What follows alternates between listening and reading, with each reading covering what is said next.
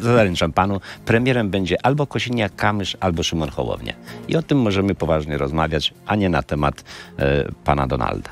Będzie wspólna koalicja i premierem będzie albo Hołownia, albo Kosiniak. Albo Kosiniak, tak.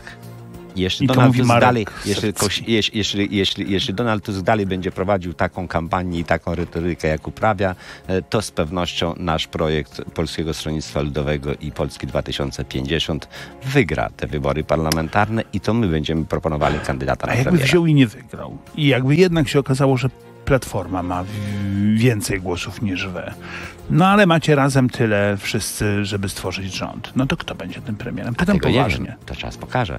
Panie redaktorze, pan zna już historię wolnej Polski od 33 lat. Nie zawsze premierem był ten pierwszy.